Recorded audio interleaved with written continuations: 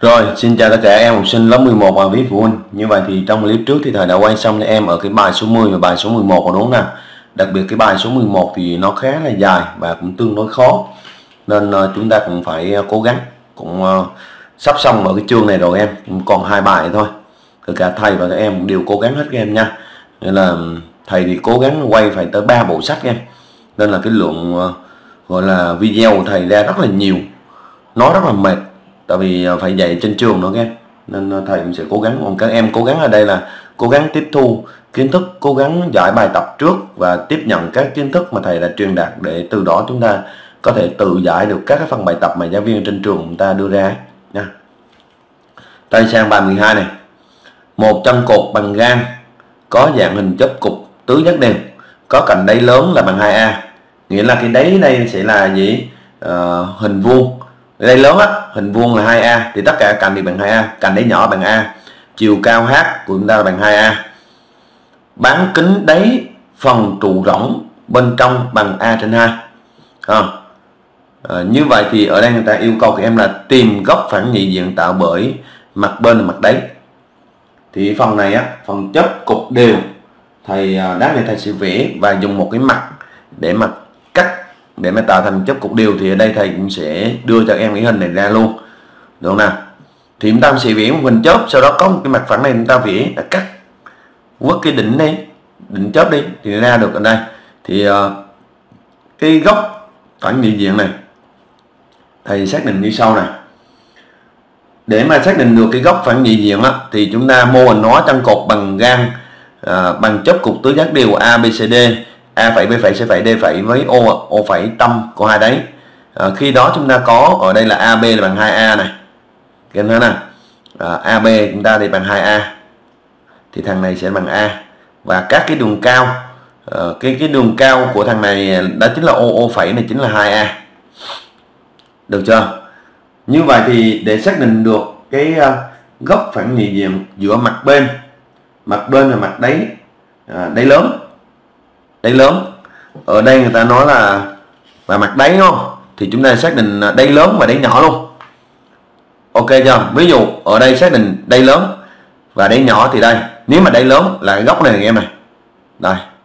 Tại sao nó chính là góc? Nếu mà đáy lớn nha, nó chính là cario là đáy lớn còn đáy nhỏ, nó sẽ là thằng này này. Góc này này. Đó chính là góc O phẩy cari là đáy nhỏ là góc uh, phản địa diện giữa mặt bên uh, C C phẩy D phẩy D. Với đáy nhỏ C uh, A phẩy B phẩy C phẩy D phẩy đó chính là góc K đây. Còn đối với cái mặt bên uh, C uh, D D phẩy C phẩy với cái mặt A B C D đó chính là cái góc K ri O là góc ri ở đây. Được chưa? Như vậy ở đây chúng ta sẽ uh, để xác định được tại sao nó là hai góc này thì đầu tiên chúng ta sẽ gọi ri và k này đã chính là trung điểm của hai cạnh này. Được chưa nào? Như vậy chúng ta thấy cái mặt đáy nhỏ và mặt đáy lớn ta đều là hình vuông.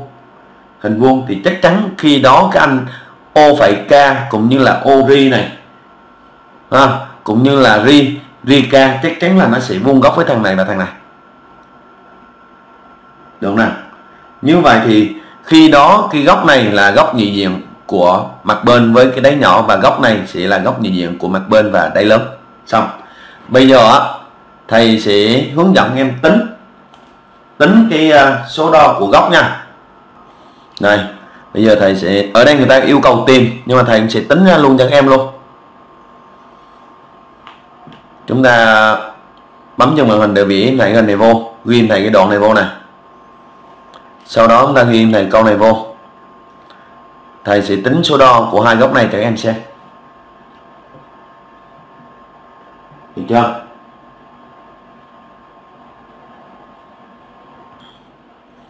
Được chưa nào? Rồi bây giờ thầy sẽ hướng dẫn em tính uh, hai cái góc này nha. Rồi thầy lấy tờ giấy đi ra.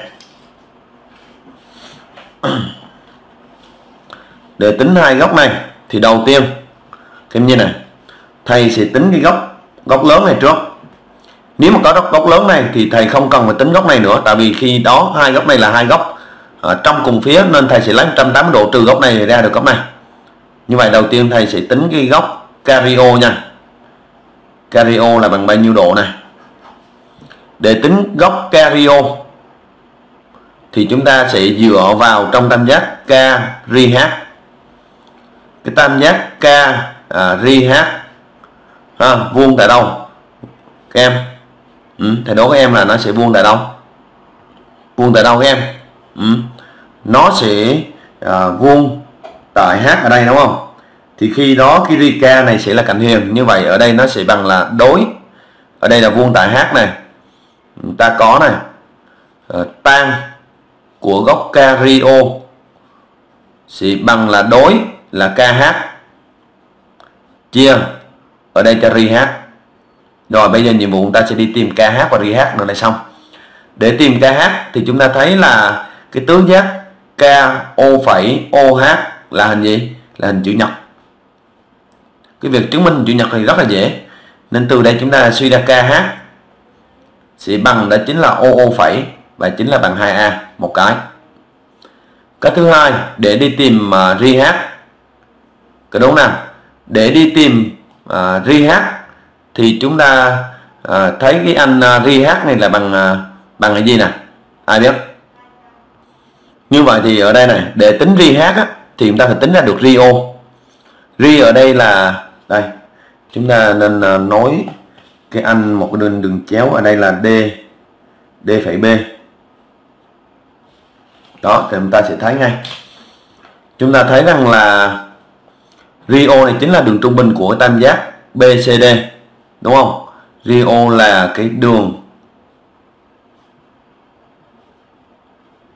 trung bình của tam giác BCD đúng không nào? Nên từ còn tại sao đường trung bình thì ở đây ri là trung điểm của CD và O là trung điểm của BD như vậy từ đây chúng ta suy ra rio sẽ bằng 1 phần 2 uh, BC như vậy ở đây sẽ bằng là BC chúng ta bằng 2A chia 2 như vậy bằng A. Mà trong khi đó H này chính là trung điểm của Rio mà H là trung điểm của Rio. Nên từ đây chúng ta suy ra ri H sẽ bằng Rio chia 2 như vậy bằng A trên 2 này. Đây như vậy thì bây giờ chúng ta đã có KH đã có ri H chúng ta thấy ở chỗ đây như vậy thì ờ, uh, KH cũng ta bằng mấy? 2A Rio đây sẽ bằng là A trên 2 nhân nhân chéo lên lấy số 2 này nhân lên 2A đây, sẽ bằng là 4A chia cho cho A. Nhưng mà kết quả đây sẽ bằng 4 hiểu không? Bằng 4 nên từ đây chúng ta sẽ suy ra cái góc này. Như vậy thì tan của cario đáng lẽ cái bước này này, chúng ta sẽ làm xuống như đây nha. Hai cái bước này chúng ta làm phía trên. Do thầy thầy giảng đây trước để chúng ta hiểu á nên ta cario này sẽ bằng 4 nên từ đây chúng ta suy ra cái góc cario sẽ bằng gần bằng này anh em. Trong cái à, phần này người ta chỉ yêu cầu các em tìm góc nhị diện thôi. Nhưng mà không cần yêu cầu tính, nhưng mà thầy sẽ tính luôn cho em xem luôn. Ở đây chúng ta có là shift tan 4 bằng độ này. 75 độ 57 phút. 75 độ 57 phút. Được chưa nào? Nên từ đó chúng ta sẽ suy ra mà cái góc cario cộng đây nghe cái góc uh, ờ, cario là góc ri này cộng với góc uh, ờ, o phẩy k ri nghĩa là góc k đây. Hai góc này cộng lại bằng 180 mà góc này người ta tìm được số đo thì người ta sẽ tính ra được góc này. Ờ, uh, o phẩy carry đúng không? Ô phẩy carry. Ở đây sẽ bằng 180 độ. Từ đây chúng ta suy ra góc ô phẩy carry sẽ bằng 180 độ. Ở đây các em ghi là trong cùng phía này. Trong phía thì bù nhau. Trừ cho cái góc cario sẽ bằng 180 độ. Trừ đây cho 75 độ 57 phút. Đúng không? Như gần 76 độ đấy thì cái này uh, sẽ gần bằng ở đây là uh, nếu mà nó là 76 độ thì chúng ta tính ra lấy 180 trừ 76 phần trăm là 4 độ này làm tròn luôn. Đó. Xong rồi đó. Nha. Ta còn câu B nữa nhé ta còn câu B nha.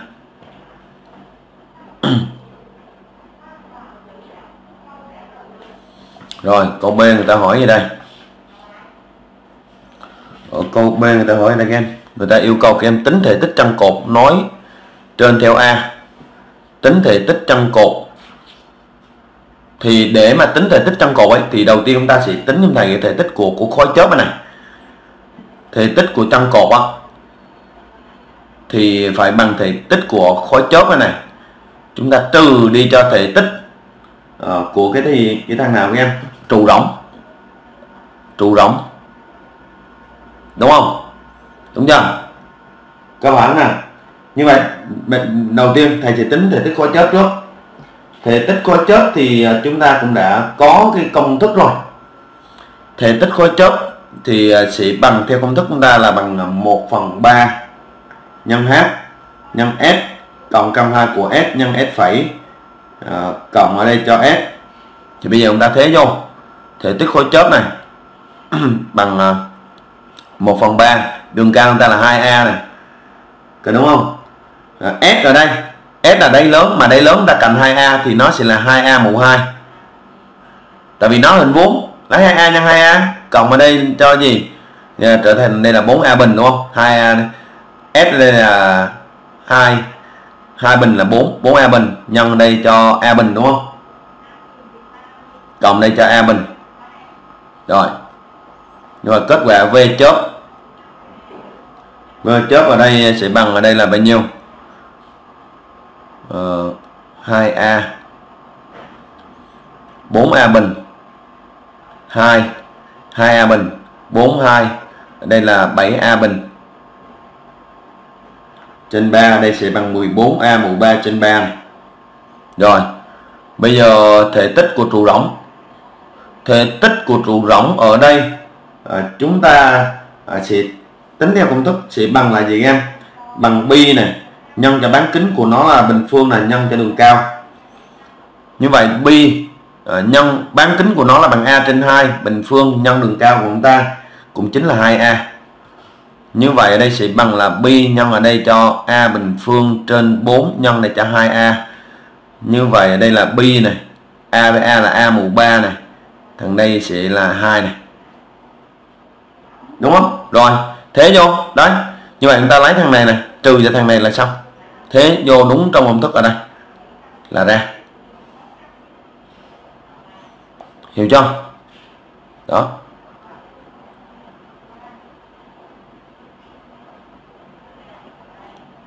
Nghĩa là V của chân cột.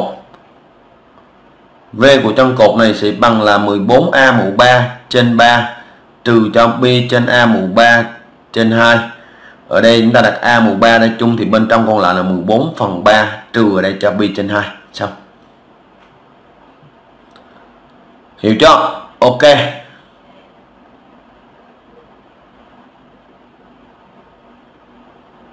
Rồi, xong. Cái bài 12 nha. Còn cái câu B thì thầy cũng ờ, đưa ra để chúng ta tham khảo ở đây đây là tính, đây lớn này, đây nhỏ này, thể tích này. Hồi nãy thầy thế cho chi tiết rồi.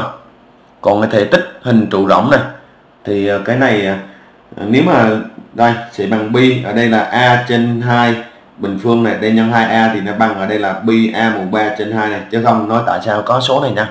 Còn ở đây thì dễ thôi rồi, ok, xong, nha. Cái thể tích trụ rỗng chúng ta sẽ áp dụng ờ, cái công thức của Ờ, thể tích của khối trụ em nha thể tích khối trụ là đã áp dụng công thức này này.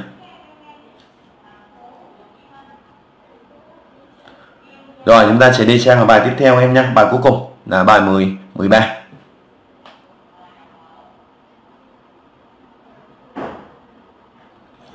Ta sẽ đi sang là bài 13 em. Ở đây người ta cho gì đây Cho hình hộp ABCD A phẩy B phẩy C phẩy D phẩy. Có cạnh bên A A phẩy là bằng A. Đấy ABCD là hình thoi. Có AB với lại à, BD thì bằng A. Hình chiếu vuông góc của A phẩy lên mặt phẳng đáy trùng với điểm O. À, với điểm O là giao điểm hai đường chéo của đáy tính thể tích của uh, tính thể tích của khối hợp.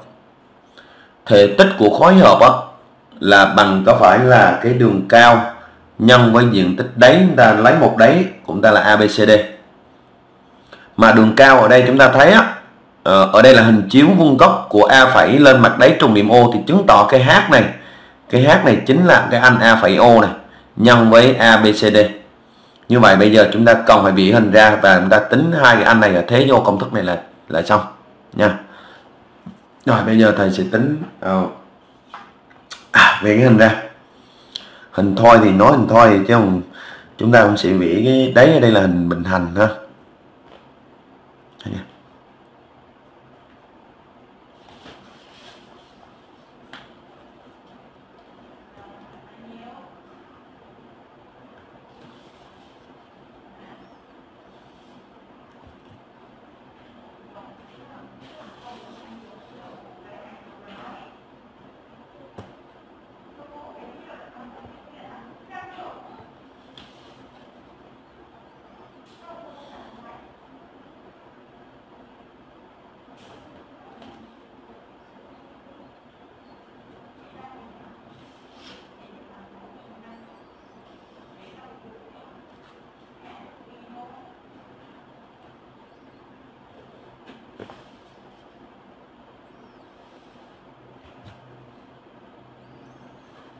Phần này thì à, nếu bạn nào muốn xem thì xem còn không xem thì có thể uh, bấm tua qua nha.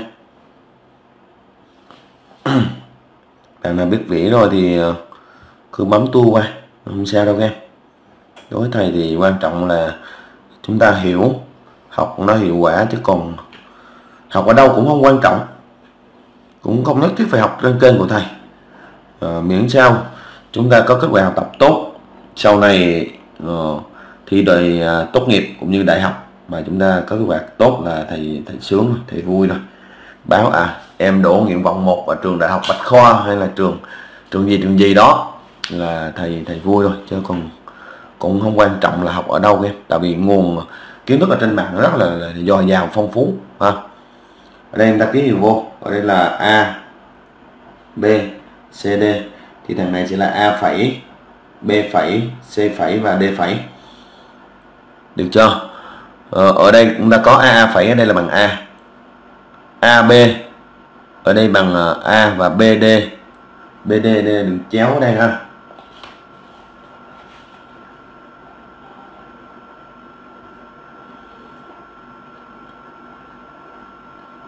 BD này cũng bằng A. Trong khi đó chúng ta sẽ xác định cái tâm O cái nào? Cái tâm O ở đây. Đây đây là tâm O như vậy khi đó chúng ta sẽ vẽ căn A A phẩy. Đấy.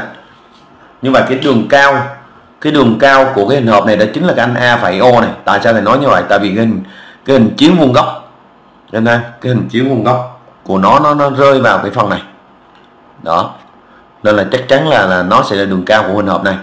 Còn cái diện tích của hình thoi thì rất là dễ thôi diện tích hình thoi ở đây BD uh, ờ, BD ở đây AC phải không? À, như vậy thì ờ, chúng ta sẽ có gì nè bây giờ thầy sẽ hướng dẫn để mà cần các em sẽ, sẽ, sẽ thấy để thầy đi tìm. Thứ nhất là AO thứ hai là diện tích. Thầy sẽ đi tìm AO trước. Đâu nè thầy đi tìm AO trước. Kiếm như nè để thầy loại A phải O chứ.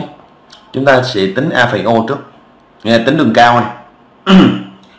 để tính uh, a phẩy o thì chúng ta dựa trong tam giác nào? Đó chính là chúng ta dựa trong tam giác a phẩy ao a phẩy a có rồi ao có chưa? Các em thầy đố em ao có chưa? Chưa.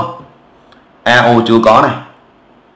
Mà để tính ao á để tính ao thì chúng ta sẽ dựa vào trong ở trong tam giác đó chính là a o b vuông tại o này. Tại vì nó hình thoi nên chắc chắn sẽ vuông ở đây cạnh AB có rồi.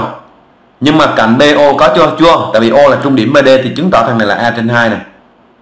Chúng ta sẽ tính ra được AO có AO chúng ta sẽ tính ra được A phẩy O. Phải không? Đầu tiên chúng ta tính AO có AO chúng ta tính A phẩy O. Như sau. Như vậy đầu tiên chúng ta có cái tam giác. Chưa chưa? Giờ chúng ta tính BO trước rồi chứ. BO sẽ bằng 1 phần 2 BD hết này chứ. Phải có đầy đủ các cái công cụ để chúng ta tính rồi chứ. Như vậy thằng này sẽ bằng là A trên 2 này như vậy trong cái tam giác AOB vuông tại đâu vuông tại O này thì uh, theo Pythagore á Pythagore chúng ta chỉ có vuông tại O thì AB sẽ là cạnh huyền. AB bình phương. AB bình phương sẽ bằng AO cộng cho BO nhiều lúc á ờ, thầy giảng nhanh thì sợ không hiểu mà giảng chậm này thầy. Các em bảo nói thầy sao giảng dài dòng mà rờ rà quá. Thực sự không biết làm sao cho nó vừa lòng em. Người nào học nhanh thì cảm thấy các bước này rất là thừa còn người nào mà bị mất gốc hay hay là không hiểu thì cảm thấy các bước này rất là là quý em. À, nhưng mà bây giờ thầy dạy chung chung mà thầy dạy chung mà trên mạng thì không biết người nào giỏi và người nào dở cả. Không? Rồi ok bây giờ chúng ta tính AO thì từ đây chúng ta suy ra AO sẽ bằng câu hỏi căn bậc hai mất bình phương thêm căn ở đây chúng ta lấy A bình phương. A bình phương trừ ở đây cho. AB bình phương trừ cho BO bình phương. Như vậy chúng ta thế số vô đây là A bình phương trừ ở đây cho A phần 2 bình phương. Đúng không? Như vậy ở đây sẽ ra được AO sẽ bằng căn bậc 2 ở đây 4 nhân ở đây. À, 4A bình phương trừ A bình phương trở thành là 3A bình phương ở đây 4 như vậy chúng ta căn ra trở thành là A căn 2 của 3 trên 2 như vậy chúng ta có AO này. Có AO xong ta sẽ tính ra được A phẩy O. Bằng cách trong tam giác A phẩy AO đúng không? À, như vậy khi đó vuông ở đâu nó sẽ vuông tại O này. Tại vì hình chiếu mà hình chiếu vuông góc này vuông tại đây thì thằng này cạnh huyền này phải xác định được thằng nào là là là cạnh huyền nhá. Như vậy trong tam giác A A phẩy O vuông tại O tiếp nha. Như vậy chúng ta có A A phẩy bình phương này sẽ bằng ở đây là à, AO bình phương cộng cho gì? À, A A phẩy bình phương. Đấy gì vậy? Cộng cho A phẩy O chứ A phẩy O bình phương chứ. Đúng không? Như vậy từ đây chúng ta suy ra A phẩy O sẽ bằng căn bậc 2 của A A phẩy bình phương. Trừ ở đây cho a o bình phương. Chúng ta thế vô tính và thằng này uh, sẽ ra được là gì? Uh, A bình phương trừ ở đây cho gì các em? A bình phương nếu mà A o bình phương thì thằng này sẽ mất căn ở đây thì nó ra được là 3A bình phương trên 4 này. Như vậy A phẩy O sẽ bằng căn bậc 2 của A bình phương trên 4 như vậy cái này sẽ bằng A trên 2 như vậy chúng ta đã tính được cái thằng này rồi nè. Đúng chưa? Bây giờ tới diện tích tới diện tích đấy này. Như vậy diện tích của cái anh A B C D. À, thì nó bằng cái gì nè? Như vậy thì ở trong cái hình này á người ta đã cho các em ở đây là AB rồi đúng không? AB rồi người ta cho cái gì nữa này? À, BD BD à, như vậy thì à, theo trong công thức ấy chúng ta thấy này BD chúng ta ở đây bằng A. À, AB thì chắc chắn ở đây sẽ bằng AD tại vì nó là hình thoi mà hình thoi thì các các cạnh nó sẽ bằng nhau. Như vậy AB sẽ bằng với AD và bằng với BD thì chứng tỏ tam giác ABD này sẽ là tam giác gì? Tam giác đều. Nó chính là tam giác đều thì chứng tỏ ba góc của nó sẽ bằng là bao nhiêu độ? Bằng 60 độ như vậy cái góc A này sẽ bằng 60 độ này. Như vậy diện tích của các anh ABCD sẽ bằng là cạnh AB nhân cạnh AD nhân cho sin của góc A đây. Được chưa? Như vậy thì S của ABCD sẽ bằng AB nhân AD nhân sin của góc sin giữa của hai cạnh đó là BAD theo công thức uh, ờ, chúng ta được học ở chương trình lớp 10 như vậy là A nhân A nhân sin lên đây của 60 độ. Và 60 độ thì uh, sẽ bằng ở đây là an phương nhân căn 2 của 3 trên 2 như vậy chúng ta đã có cái này.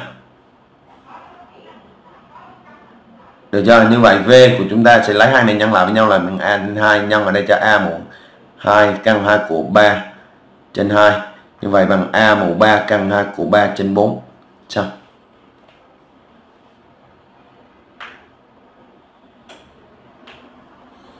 Được chưa? Đó. Chi tiết em.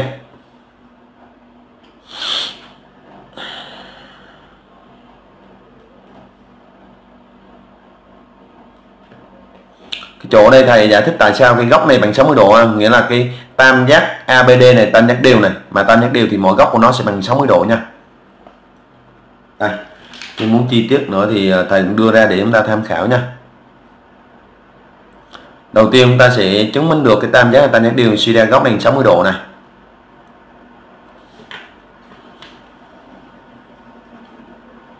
Rồi, ok. Ta đi tính AO này. Tính diện tích này. Sau đó thế vô. A phải O thầy cứ nói AO các vị trí này nãy thầy đã làm rất là chi tiết rồi. Tại sao ra kết quả này và tại sao ra kết quả này rồi, đúng không? Thế số vô, thầy tính cho em rồi.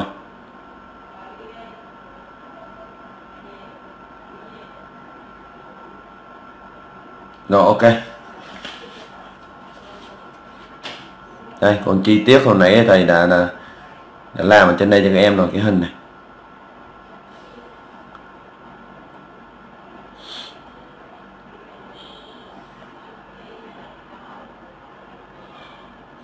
Như vậy clip hôm nay tới đây là kết thúc em nha trong clip tiếp theo thầy sẽ quay tiếp cho các em ở cái chương cuối cùng là chương 9 về phần xác suất.